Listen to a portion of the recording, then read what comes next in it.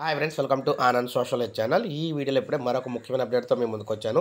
So ఈ రోజే CM Jagan గారు సో నర్సాపురంలో పర్యటించి కొత్త కార్యక్రమం అయితే శ్రీకారం చుడుతున్నారు. దానికి సంబంధించి పూర్తి వివరాలు చూద్దాం. ఇక టాపిక్లోకి వెళ్ళిపోదాం మనం.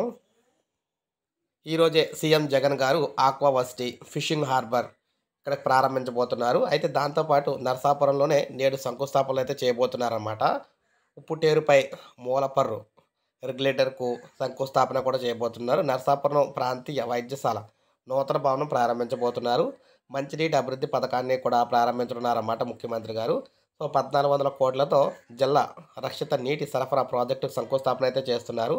అదేవిధంగా పదహారు వందల ఇరవై మూడు మంది రైతులకు భూ హక్కు పత్రాలు కూడా పంపిణీ చేయబోతున్నారు. సో ఈరోజు పదకొండు గంటల నుంచి ఈ పర్యటన అయితే స్టార్ట్ అవబోతుందన్నమాట నరసాపురంలోని నర్సాపురంలోని సో ఇప్పుడే మనకు అప్డేట్ అయితే ఇచ్చారు. సో ఈ రోజు అన్ని ఇలా అనేక కార్యక్రమాలకు సంక్షేమ కార్యక్రమాలకు ఈయనైతే శ్రీకారం చుట్టడం అయితే జరుగుతుంది. సో ఇది మనకు ప్రజెంట్ లేటెస్ట్ అప్డేట్ నేను అసలు లైక్ చేయండి సబ్స్క్రైబ్ చేసుకోకపోతే మన ఛానల్ సబ్స్క్రైబ్ చేసుకుని ఫాలో అవుతూ ఉండండి.